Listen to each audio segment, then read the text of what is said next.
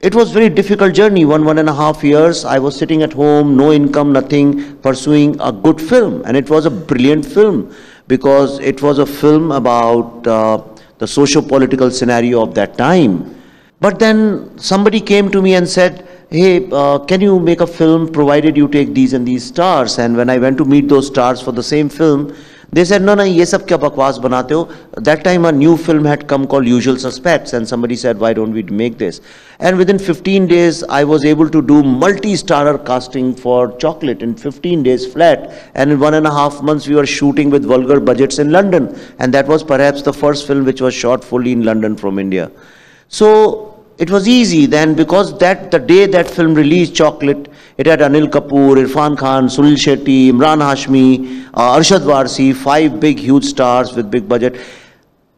I said oh it's so easy to make these kind of films because every no star was willing to work without watching a dvd of some hollywood film. It's a truth. And the second film, the day this film released, uh, Ronnie Screwvala called me and he said, why don't we make some film? I went there with a very small idea because I had heard about some Indians living in Southall in London and they couldn't pay some 90 pounds to the county and they couldn't retain their own uh, football club called Southall Football Club. And uh, I found it very fascinating that for 90 pounds we lost a football club.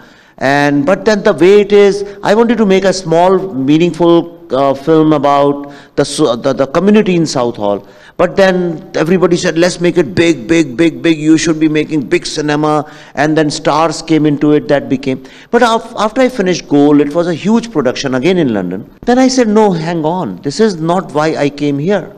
I didn't come here to tell stories which all these stars want to tell about themselves, about their own image.